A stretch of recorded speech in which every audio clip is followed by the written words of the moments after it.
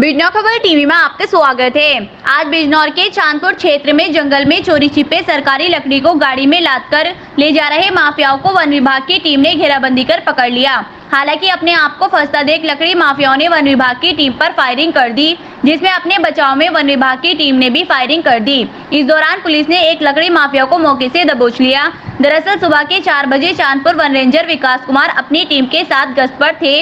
इसी दौरान उन्हें एक संदिग्ध वाहन आता दिखा तो वन विभाग के कर्मचारियों ने लकड़ी से लदे वाहन को रोकने का प्रयास किया, लेकिन सामने से अचानक फायरिंग की आवाज़ सुनाई दी। अचानक हुई फायरिंग में वन कर्मियों के हाथ पाँव फूल गए। जिसके बाद वन कर्मियों ने भी अपनी ओर से जवाब में फायरिंग कर दी। दोनों ओर से चली फायरिंग के बाद आखिरकार वन विभाग की टीम ने मौके से एक लकड़ी माफिया को गिरफ़्तार कर लिया। वाहन में लदी लकड़ियों को वन कर्मियों ने अपने कब्जे में ले लिया और गिरफ़्तार हुए आरोपी को जेल भेज दिया। सर आज ये लकड़ियाँ पकड़ी गई हैं इसका क्या पूरा मामला है? रात करीब हम लोग जो है गश्त पे थे। तो सुबह लगभग चार बजकर पैंतीस मिनट पर हमें एक गाड़ी जंगल से बाहर की तरफ़ आती हुई दिखाई दी, जिसको रोका हमने चेक किया।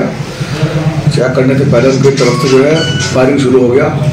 इधर से जवाबी फायरिंग हमारे द्वारा भी किया गया है। जो है एक आदमी को पकड़ा है अभियुक्त को।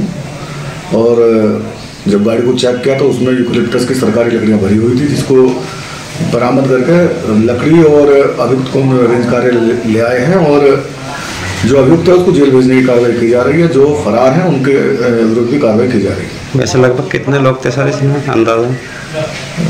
अभियुक्त जो पकड़ा गया है उसके द्वारा तीन लोगों को बताया जा रहा है लेकिन हम गहनता से जाँच कर रहे हैं हो सकता ज़्यादा भी। अच्छा फायरिंग में कोई घायल वगैरह तो नहीं हुआ?